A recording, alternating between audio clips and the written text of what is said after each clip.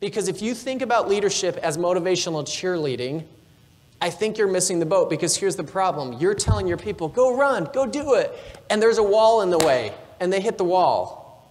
And they fall down, and you're like, well, we better motivate them. Okay, get up and run faster this time. Lead with your head. Like, we need to actually move the wall.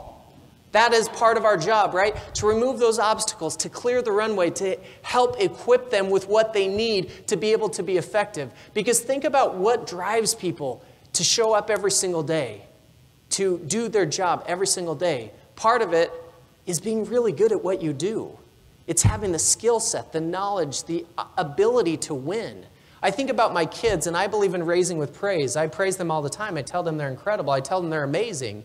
But I also understand as their father that at some stage in their life, they're actually going to have to be amazing at something right? They can't, they, that's where real self esteem comes from. That's where they want to show up and they want to do it every single day because they feel like they're winning.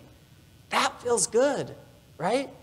And so, if I can equip them, if I can clear the runway, if I can remove those inhibitors, those obstacles, and here's the thing, guys some of those are systemic, some of those are within organizations, and we start to recognize those things that how do we make this whole process smoother?